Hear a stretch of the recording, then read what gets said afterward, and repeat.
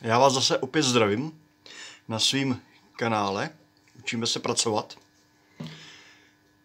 Já jsem s tím kanálem začal vlastně proto, abych, protože jsem zjistil, že přibývá stále vyšší počet lidí, kteří uh, si sami nedokáží poradit se základníma takovýma věcmama v dílně. Přitom to jsou jinak šikovní lidé, lidé a setkávám se s tím, že lidi na mě koukají, když řeknu vyrobit si těsnění, tak koukají, jak, jak si chceš dělat těsnění, člověče, jak to uděláš na ten karter, jo. Setkávám se s takovýma, eh, prostě zkrátka udivuje mě, že lidi už dneska neznají to, co moje generace jako by si běžně dělala sama, vyráběla. Takže, proto jsem jakoby vlastně začal se svým kanálem, protože jsem prostě zjistil, že evidentně naše školství jde tam, kam jde, což e, má jednoduchý, jednoduchý důvod, není to žádná náhoda, zkrátka debilizace lidí na všech úrovních, hlavně debilizace našich dětí, což pak znamená konec tohohle státu velmi rychleji, a který, mu, který už má jakoby dneska na krajíčku. A to se týká nás všech, jo. A konkrétně v tomhle videu vám musím ukázat takový základní praktiky. Primární můj účel je ten, je oprava benzínové nádrže. Jo. Čili tohle bude, eh, tohle to je priorita moje dnešní. A s tím souvisí i to, že já třeba tady pod víčkem eh, mě odešlo gumové těsnění, co tady je. Takže já ukážu, jakým způsobem si jakým způsobem si já vyrobím gumový těsnění prostě tadyhle z kusu gumy, co mám, která je benzínu odolná. Takový nějaký zbytek, občas to člověk sebere, někde se to válí, jo, na stavbách a podobně, případně se to dá koupit, jo. Takovýhle kousky já si schraňuju, různý tloušťky, pak se to hodí, jo, vždycky v průběhu doby. Mám prostě bedínku, tam mám takový těsnění. Pak mám druhou bedínku a tam skladuju e, těsnění, které nejsou na gumovém základě, ale třeba klingerit, jo. Tohle je klingerit. A klingerit je materiál, z kterého se dřív vyráběly doma běžně těsnění. A to těsnění karterů, těsnění e, pod mezi, mezi válec a karter, těsnění e, mezi přírubu karburátorů a, a e, sáním válce, jo. Takový klingerit dřív třeba se dělaly i desky, jo. Tohle to jsou desky jo, na A4, nějaký dokumenty. Ty byly vyrobené taky z klingeritu, jo. Takže i z takových desek klingeritových lze vyrábět těsnění. Taky je mám schovaný mezi tím, protože protože zkrátka dobře se to hodí, jo, když je potřeba vyrobit těsnění. Já sice žádný těsnění jakoby vyrábět teďka nepotřebuju, ale ukážu to, protože vím, vím, že málo lidí už to dneska zná, že to takhle jde a jak se to dělá. Takže co? Co dneska bude? Výroba těsnění jednak z gumy za pomocí vykroužení, vykružováků, pak výroba těsnění. Eh, já to budu tady ukazovat na výrobu těsnění pro tohleto, pro tady tu přírubu karburátorů. Ukážu, jak se to vyrábí. Stejně se to dělá pak, když potřebujete cokoliv, jakýkoliv karter vyrobit. A popovídáme se taky trošku o benzínu, co byste měli vědět o benzínu. A je taky pravděpodobný, že z toho budu možná tři videa. Já ještě uvidím, jak to všechno bude. Uh, jak to bude dlouhý a tak. Takže já začnu benzínem. Uh, benzín je hořlavá látka. A hoří, nehoří eh, ta tekutina jako samotná, sama o sobě, ale hoří její výpary. Jo, jestliže já si do této misky, tady mám, tady mám benzín, prostě naleju benzín.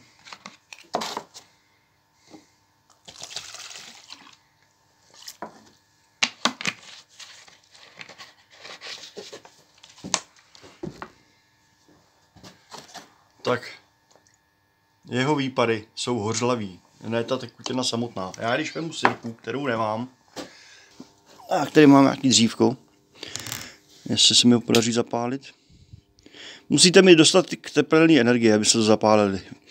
Benzín sám o sobě má docela dobrý chladivý schopnosti a pouze od sirky, kterou do ní hodíte, tak chytne.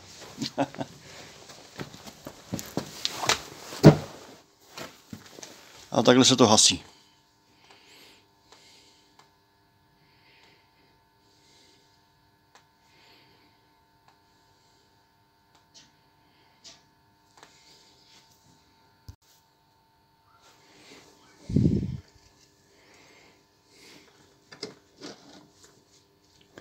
Tak, chytlo to proto, proto, chytlo mě to proto, protože tady v tom prostoru už jsem to měl dlouho nalitý a přestože je docela chladno, tak už se mi tady začal ten benzín odpařovat, chytli jeho výpary, jo. Jde o to, že když vy máte nádrž plnou benzínu, tak si můžete klidně dovolit tam hodit sirku a čistě teoreticky se nic nestane, jo. A když tak prostě půjde nějaký plamínek z výfuku. Problém ovšem je, když vy máte třeba půl nádrže už jenom, hodíte tam sirku, v té nádrži jsou výpary a ty výpary chytnou naprosto stejně jako tady. Proč to ukazuju? Ukazuju to, chci tady vysvětlit ten, takový ty zásady, jo. Tohle to si tady nechám na mytí. Tak a proč jsem to ukazoval? Chtěl jsem zkrátka ukázat, že eh, benzín, jakoby ta tekutina, sama o sobě prostě nechytá, jo. Naopak ona má chladící účinek, jo. Eh, taky se používají, palivo se používá běžně i jako chladivo, benzínový, jak benzínový, tak dieselový, tak nafta. A prostě pokud nemá dostatečnou zápalnou, jakoby dostatečnou teplotu pro zapálení, tak jakoby nechytne. On to schladí ten benzín. Nějakou sirku, když byste hodil do plného, do plný nádrže, do plného kanistru sirku, tak se nestane nic, ale jakmile tam budete mít vzduch, jakmile tam bude nějak, budou výpary smíchaný se vzduchem, tak vzniká výbušná směs. Já o tom mluvím proč? Já o tom mluvím proto, protože já budu svařovat tady tuto nádrž. Jo. A chcete-li vy si svařit benzínovou nádrž, tak ji můžete mít otevřenou třeba měsíc, jo ale ten, eh, ten plech, ten materiál vevnitř prostě bude furt jakoby cítit po benzínu. Což jsou, to, což jsou ty výpary toho benzínu. Teďka ještě k výparám, jo. Proč byste, proč, proč byste neměli vozit uh, kanistry s benzínem v automobilu, v prostoru, v prostoru, kde sedíte sami. Jo. Neměli byste mít mezi, no, mezi nohama váš spolujezdec, by rozhodně neměli jet s kanistrem benzínu ani nikde zádu na sedáčkách a vysvětlím vám proč. Jo. Jde o to, že výpary benzínu v množství, který člověk ještě není schopen cítit nosem, bavíme se o množství, který ještě není cítit, bez by to cítil, ale vy to ještě cítit nebudete, tak už takovýhle množství výparů eh, na člověka působí tak, že ho to uspává, jo? což je pro řidiče e, nepřijatelné. Jo? Řidi, řidič, když usne za volantem, tak všichni víme, jak to pak dopadá, jo? Většinou, většinou pak moc nereaguje takový člověk jo? na nějaký změny v provozu. Takže eh, to je ten důvod, hlavní důvod, proč vy byste neměli nikdy vozit e, vedle sebe v autě, jo, když řídíte nějaký benzín, jo? protože jeho výpary ve množství, který vy ještě nejste jako člověk schopen, schopen zaznamenat, že vám uniká ten benzín, eh, tak eh, ty už eh, na vás prostě působí tím, že vy zmalátníte, že jste ospalí a tak dále. Jo. Což je, ještě jednou říkám, nepřípustný jo, pro řízení vozidla. Proto by měl být benzín vždycky někde zavazadlovém prostoru, což dneska je už tak trošku problém, když máme zavazadlový prostor většinou e, za prdelí, jak se tak říká, jo, jenom pod záklopkou. To nic neřeší, jo, to je takový. A zajímavý je, že dneska vám to nikdo neřík, neřekne, jo, nikdy se o tom nedočtete. Dřív jakoby se snažila eh, ta vzdělanost lidí jakoby udržovat na úrovni. Proto to tady já říkám. Tak, to máme tohle. Uh, jak já budu postupovat při sváření, sváření tady té věci. Abych si to obrousil pořádně, jo. tak já asi udělám to, jelikož mi to drží jenom tady na té straně a předpokládám, že když bych to tady třeba až to očistím, tak to bude, bude znatelnější. Jelikož cítím, že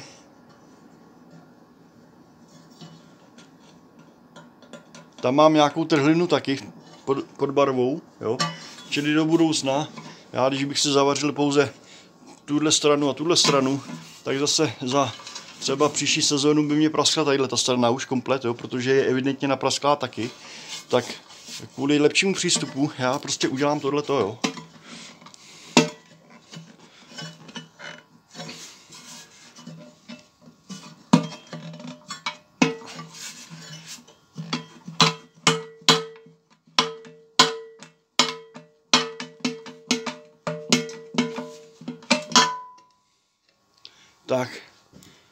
Teďka jsem si z jednoho dílu udělal dva díly, zcela záměrně.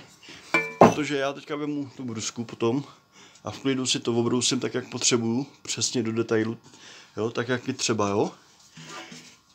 Takže já jsem si nádrž očistil, dal jsem z ní pryč všechno, co bylo potřeba, připravil jsem si těsnění podvíčko, jo.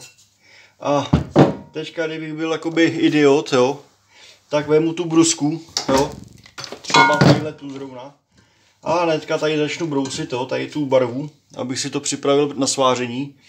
A hnedka bych riskoval, že si tady že, eh, roztrhnu úsměv, až se mi to nebude líbit, jo.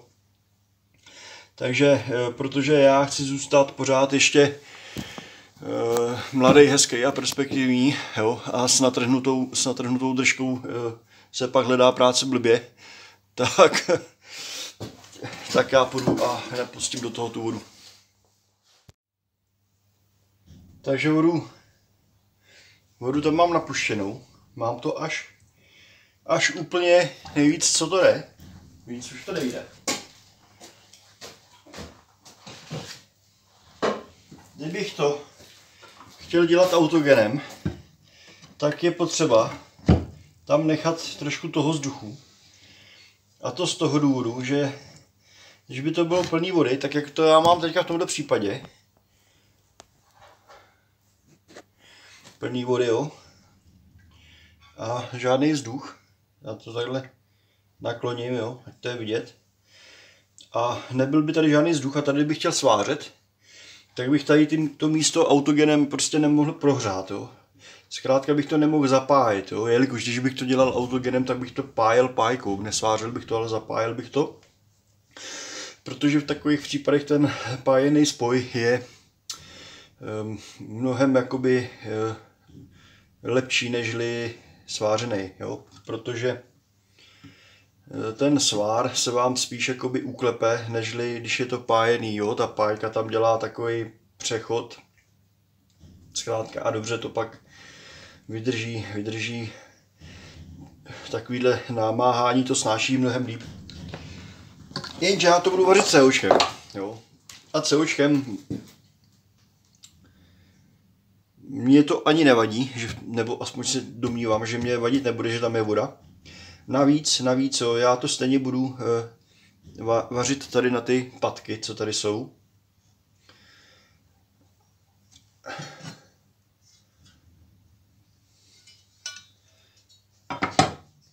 Takže mě tam voda překážet nebude, jo? v žádném případě. U autogenů by to bylo, by to bylo něco jiného. Uh, nevím, co tady o, o tom ještě dál plácat, asi nic, nic mě nenapadá. To, proč jsem to vlastně celý utrh, to, to, jsem, to jsem jasně říkal, jo? že takhle prostě s tou bruskou já se tady můžu krásně vyhrát. To samý tady ze všech stran, zevnitř, zvenku prostě. A když bych, než když bych to tady nechal zbytečně na tom, na té jedné straně bejt, tak to tady musím nějak takhle šmůdlat, jo, nějak se tady takhle hejbat a tak dále. Což, což mě přijde mnohem efektivnější to utrhnout, jo. Očistit to celé a pak to tady prostě zkrátka dobře přivařit. Já teda jdu na to. Jestli uvidíte nějaký plamen, tak se nelekejte, jo. Já se třeba leknu, ale myslím si, že to bude dobrý.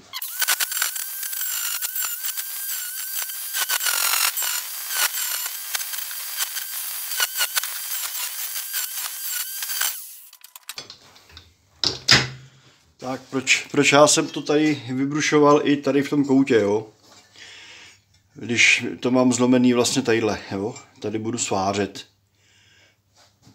Vidíme tam všechno. Tady budu svářet, jo?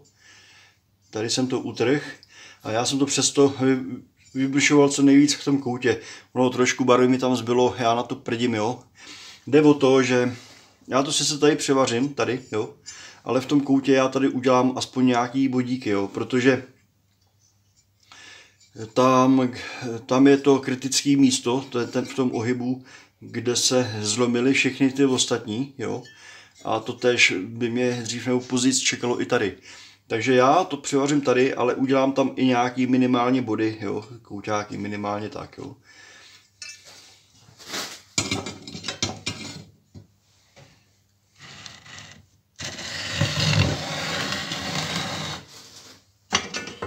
Takže zatím, zatím se žádná exploze nekonala. Já si to teďka tady připravím na sváření.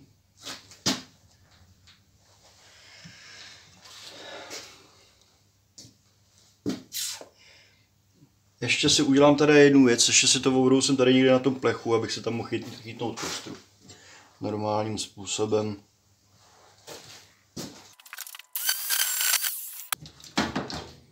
Tak, já si loknu kafe,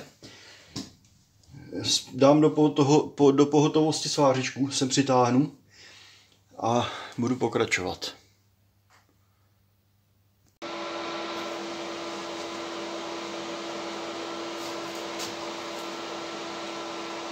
Takže,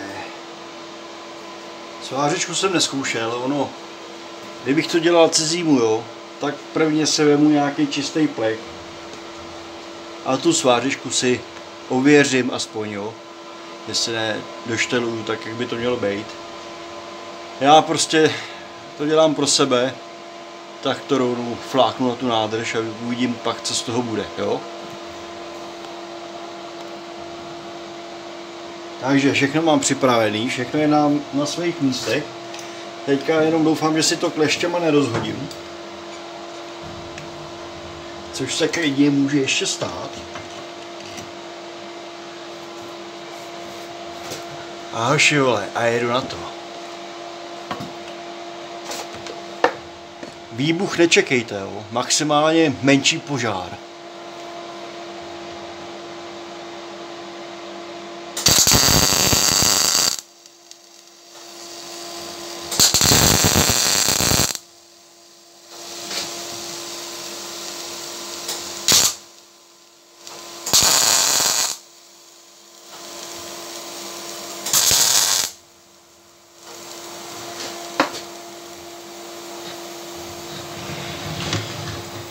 Je pod tím, je pod tím ještě voda, jo.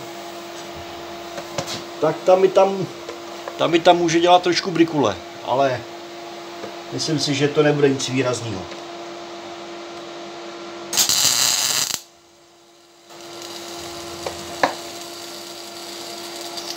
Necháme to trošku, ať se to vyšumí.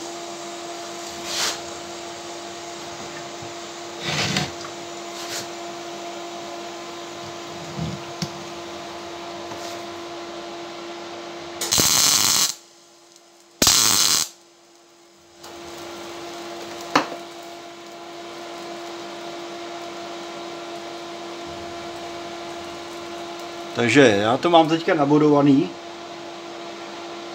Oh, teďka už prostě půjdu na full time.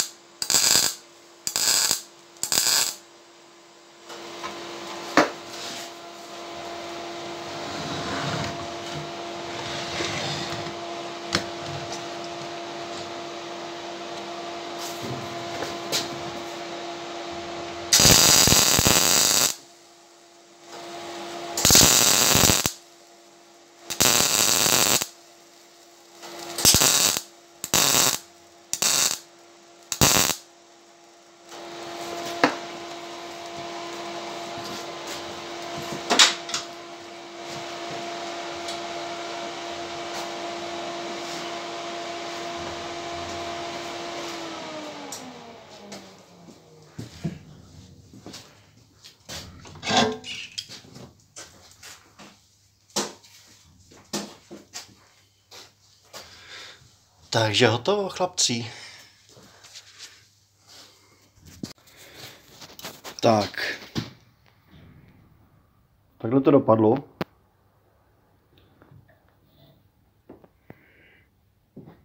Já jsem teda ne, ještě neskoumal ty jejich budíky, co oni tady mají nadělaný. Ale předpokládám, že ty budou držet, jo. Protože jestliže to upadlo tady, tak tady to bude v pohodě.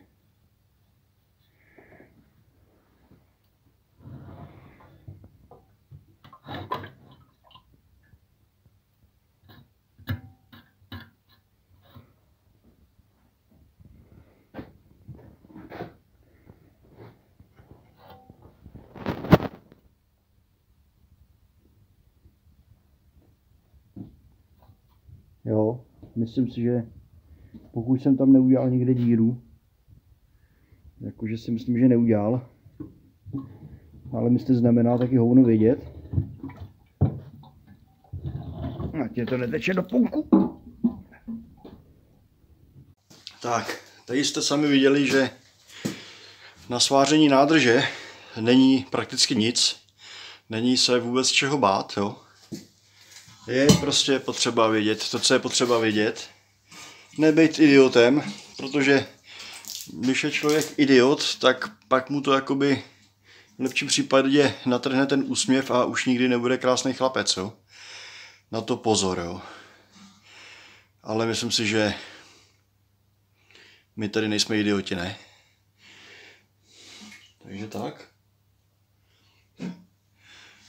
Oprava dokončena a teď konečně, já to dám teďka teda ještě eh, tady na kamínka vzadu, aktivu kamínka, tam to nechám nějakou dobu vysušit, všechnu vodu z toho, ať se to z toho odpaří, protože na vodu to nejezdí, bohužel. A voda se drží dole a kdybych ji tam nechal, tak první co bude, tak mě zaplaví trochu vody plovákovou komoru a já budu řešit akorát další problémy. Si zbytečně. Takže já to dám na kamínka, dám to odpařit. Budu se stříhat tohle video, ať se máte na co koukat a, a já budu pokračovat potom s karburátorem. Zatím se mějte.